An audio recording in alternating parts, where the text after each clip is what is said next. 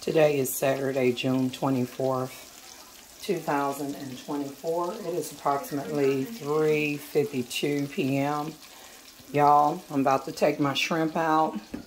I have uh, fried fish that I created an egg and milk mixture wash with. It. Is seasoned very well. And I'm going to go ahead and take the shrimp out. And then I have some baked potatoes to go with this. I will be splitting the baked potato open and um, and season them with salt and black pepper and margarine instead of regular butter and sour cream and, gra and grated cheese. I will be topping it with sour cream, grated cheese, and bacos. Okay, y'all, I just took this out of the I just took it out of the cooking oil this is the consistency that you want, y'all.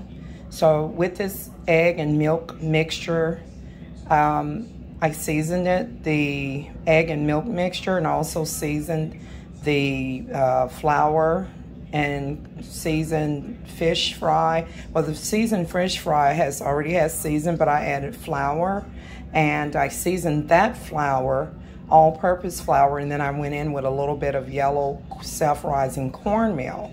So I just want to share with you what I'm cooking up this Saturday here in Jacksonville, Arkansas. And um, let me go in with the and do the baked potato. Let me fix that up. Try to be right back. I have split the baked potato open, the baked potatoes open. I'm gonna go ahead and go in with some salt and black pepper while it's hot and some margarine and sour cream and grated cheese. Be right back. I've seasoned my baked potato with salt and black pepper, and I've added some margarine. And I know some people probably prefer butter, only would do soft butter on a baked potato. So I have margarine, salt, black pepper. I have blended the margarine and salt and black pepper. And now I'm going to go in with some sour cream and top it with grated cheese and bacon. Okay, I have topped my baked potato with sour cream, grated cheddar, mild cheddar cheese, and um, bacos. And I'm gonna get ready to,